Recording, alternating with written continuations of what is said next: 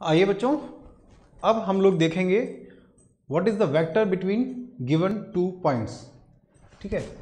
तो आज का इस टॉपिक का हमारा टारगेट रहेगा कि हम दो पॉइंट्स के बीच में, ठीक है जी वेक्टर को निकाल सकें। टू पॉइंट्स ठीक है जी? तो अभी ऑलरेडी वैसे हम इसी का एक फ्लेवर इसी टॉपिक का एक फ्लेवर हम लोग ऑलरेडी कवर कर चुके हैं। आपको याद होगा कि हमने पोजीशन वेक्टर निकाला था between origin and the given point ठीक है? दो पॉइंट तो हो ही गए। कोई भी वेक्टर हो बच्चा, कोई भी वेक्टर दो पॉइंट को जोड़ के ही बनता है। मान लीजिए ये है वाई एक्सिस ये बन गया जेड एक्सिस और ये एक्स एक्सिस ठीक है जी? और यहाँ कहीं तो भी एक पॉइंट मान लेते हैं। पॉइंट ए है, जिसके coordinates X one Y one और जेड वन है ना। इसको थोड़ा सा, चलिए, ये एक्स वन ये वाई वन और जेड वन एक चीज़ और।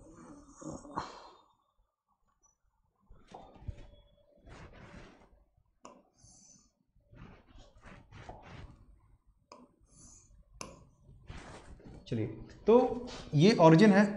तो हम लोगों ने ऑलरेडी देखा है कि बच्चों ओरिजिन से किसी पॉइंट ए को जोड़ने वाली लाइन का जो वेक्टर होता है है ना? उसको कई बार हम आर वेक्टर से भी रिप्रेजेंट करते हैं, उसको बोलते हैं position vector of point A with respect to origin और ऑरिजिन के कोऑर्डिनेट्स होते हैं ज़ीरो ज़ीरो एंड ज़ीरो ठीक है जी? तो बेसिकली ये दो पॉइंट्स के बीच में ही है वेक्टर कोई भी वेक्टर दो पॉइंट्स को जोड़ के ही बनता है।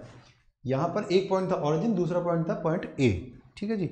अब हम बात करेंगे कि एक पॉइंट यदि ऑरिजिन ना होके सपोज़ सपोज़ कीजिए है, होता है कि मान लीजिए ये है पॉइंट बी जिसके कोऑर्डिनेट्स होते हैं X two Y two and Z two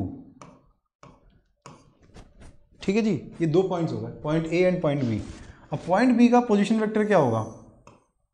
obviously ये होगा X two Y Y two J and Z two K ठीक है, मैं एक बार लिख देता हूँ what is the position vector of point A and B तो पॉइंट ए का पोजिशन वैक्टर होगा ओ ए वैक्टर जिसको हम लिख सकते हैं X one I cap plus Y one J cap plus Z one K cap similarly बच्चों point B का पोजिशन वैक्टर क्या होगा? पॉइंट बी का पोजीशन वेक्टर होगा X two I cap Y two J cap and Z two K cap ठीक है बच्चों? तो ये दो पोजीशन वेक्टर्स मुझे मालूम चल गए। ये आप ऑलरेडी सीख चुके हो। ठीक है? अब हम क्या सीखने वाले हैं? कि यदि मैं पॉइंट ए और पॉइंट बी को जोड़ दूँ, ठीक है जी? अच्छा वेक्टर में हमने हमने क्या देखा था कि एक इनिशियल पॉइंट होता है और एक टर्मिनल पॉइंट होता है।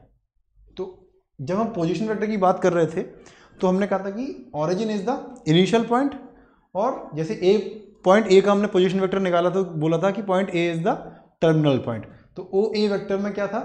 O is the initial point और ए इज़ द टर्मिनल लिख देता हूँ, है ना? ये क्या था? इनिशियल पॉइंट था. और पॉइंट ये जो ए था, वो क्या था? टर्मिनल पॉइंट ठीक है जी? तो ओ ए वैक्टर हमने निकाला था इनिशियल पॉइंट से टर्मिनल पॉइंट तक।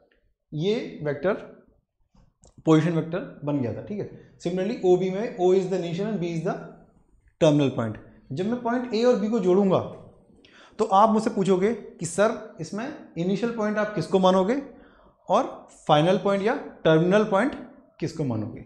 उसी के बाद आप लोग बता पाओगे कि ये ए बी वैक्टर बनेगा या फिर बी ए वैक्टर बनेगा। ठीक है जी? तो एक एक और चीज़ हम लोग ऑलरेडी कवर कर चुके हैं, जब हमने निगेटिव ऑफ़ अ वेक्टर पढ़ा था। क्या चीज़? निगेटिव ऑफ़ अ वेक्टर तो देखा था कि A B vector is equal to negative of B A vector ठीक है बच्चों?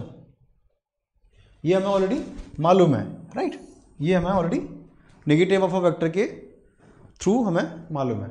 अब क्वेश्चन उठता है कि आप यदि ए और बी पॉइंट्स को जोड़ रहे हैं तो are you interested in finding A B vector और बी ए वैक्टर ठीक है? मान लीजिए हम निकालते हैं ए बी वैक्टर मुझे चाहिए what is A B vector तो मैं क्या करूँगा? तो उसको निकालने के लिए बच्चों, एक थम रूल और ये रूल आपको इलेवेंथ ट्वेल्थ फिजिक्स, मैथ्स, जहाँ भी वेक्टर यूज़ हो रहे हैं, हर जगह काम में आने वाला है। जब भी आप ए बी वेक्टर निकाल रहे हो या कोई सा भी वेक्टर निकाल रहे हो बिटवीन टू पॉइंट्स तो आप हमेशा क्या निकालोगे इसको? A B vector is given by position vector of final point या terminal point minus position vector of initial point और अपनी क्लास में बच्चों को आसानी से याद रहे, इसलिए मैं हमेशा क्या बोलता हूँ, ब्रीफ करने के लिए फाइनल माइनस इनिशियल याद रखो। फाइनल माइनस इनिशियल यदि आपको फाइनल माइनस इनिशियल याद है तो आपको कभी भी इस तरह के वेक्टर्स निकालने में प्रॉब्लम नहीं होगी। एंड बिलीव मी फिजिक्स में और मैथ्स में भी हर जगह आपको इस तरह के दो पॉइंट के बीच में वेक्टर निकालने की ज़रूरत पड़ेगी और बच्चे कई बार ए बी वैक्टर और बी ए वैक्टर में कन्फ्यूज़ हो जाते हैं और सारा क्वेश्चन सिर्फ़ इसी छोटी सी गलती की वजह से गलत हो जाता है। अदरवाइज़ वो पूरा प्रॉब्लम सही से करते होते हैं। तो क्या करना है? फाइनल माइनस इनिशियल याद रखना है। ये थम रूल की तरह रखना है। Final point minus initial point final मतलब वेक्टर जहाँ तक जा रहा है। यदि ए से निकल के बी तक जा रहा है ना तो इसका मैं एरो चेंज कर देता हूँ। ये ए से बी तक जा रहा है तो ये वेक्टर हमें चाहिए। हमें चाहिए क्या? ए से बी तक का वेक्टर ए बी वेक्टर चाहिए। तो फाइनल पॉइंट क्या है बच्चों?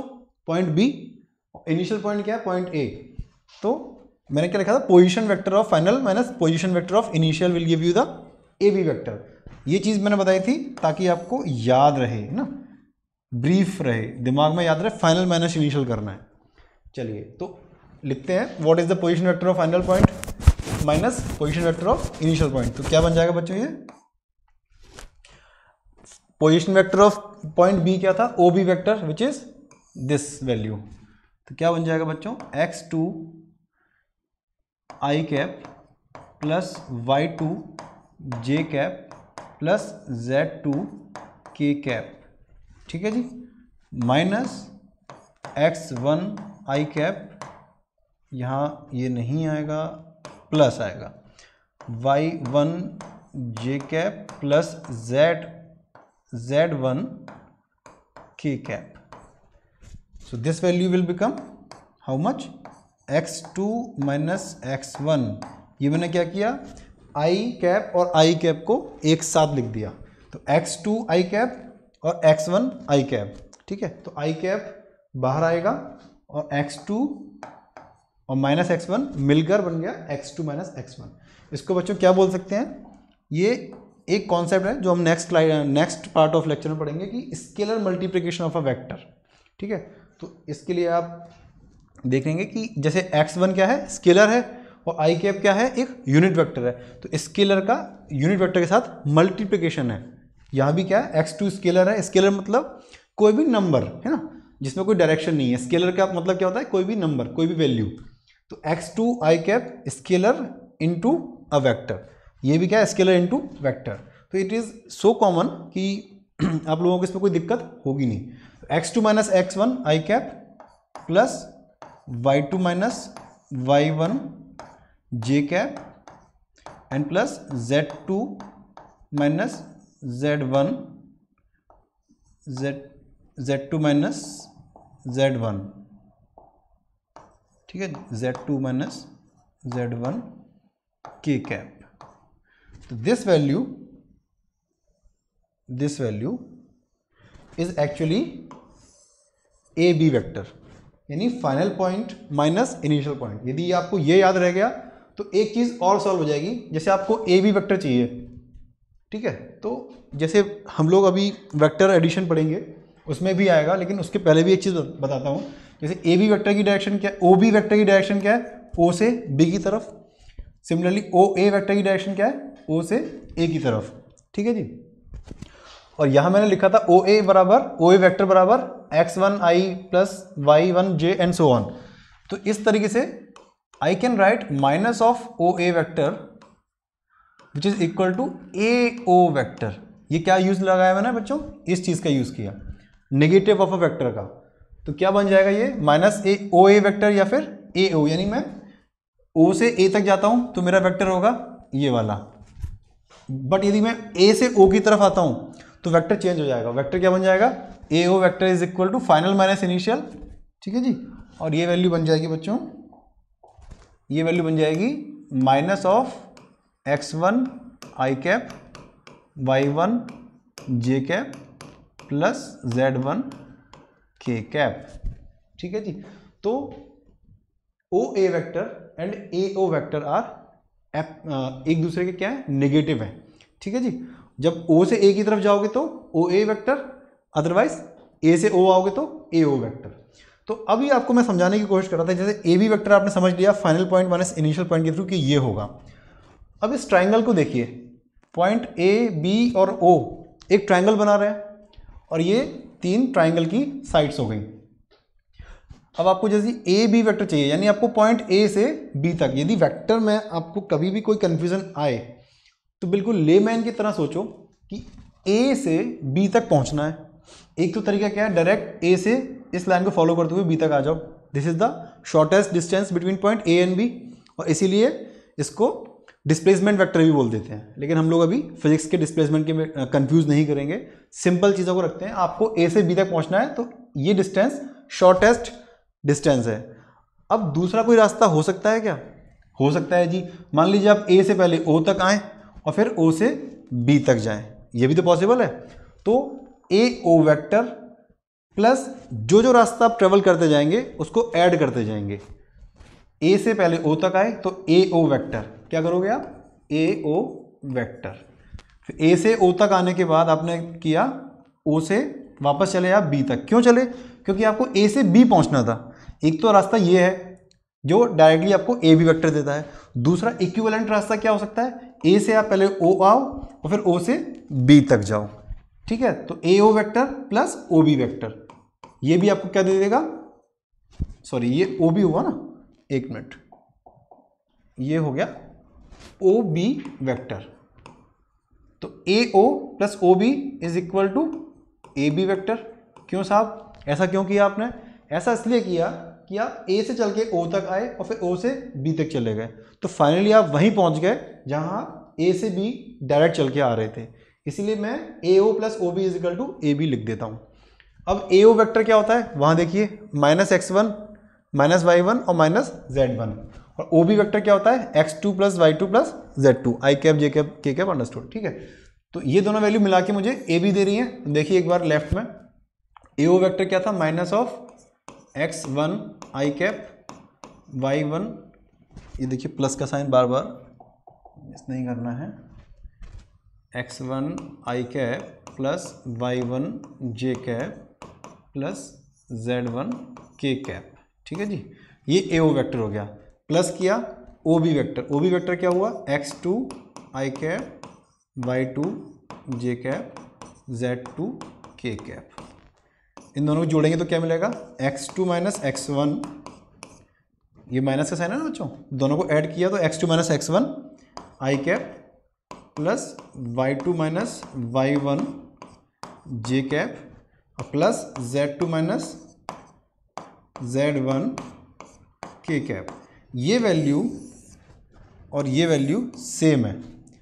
तो क्या मालूम चलता है कि ए से बी तक जाओ डायरेक्टली ए बी वेक्टर निकालो या ए से ओ तक आओ, फिर ओ से बी तक जाओ। एक तरह से क्या हो गया?